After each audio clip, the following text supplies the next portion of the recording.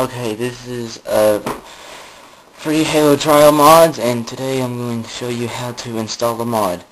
I have had plenty of requests on making a video tutorial and here it is.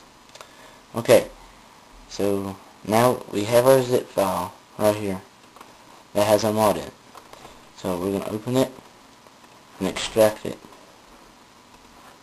I would just extract it to your desktop. Okay. Now right click and click copy on the map. Now I go to start my computer. Now I go to local disk C and you go to program files and then Microsoft games and then Halo trial and now we need to go to the maps folder. Now you should see a b30.map, bitmaps.map, sounds.map, ui.map, and bloodgulch.map.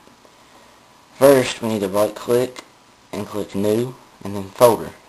And name name this name this folder um, backup.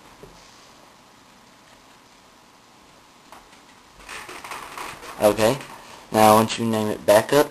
You take the original Blood Gulch file which is right here. Drag and drop it in this folder. Okay. That takes care of backing up your old folder.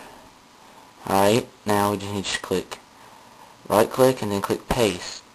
And now you should see another blood gulch dot map in here.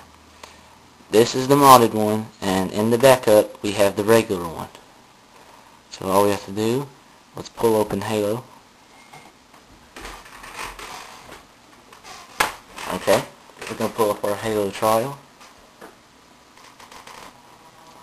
Alright let's just start us a multiplayer game. Everything regular Oh, Alright, as you can see, sorry for the bad graphics. I have a horrible graphics card. This, and now your mod, has been installed. Have fun.